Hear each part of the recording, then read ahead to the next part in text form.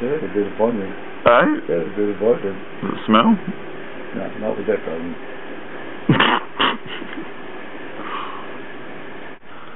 the fight.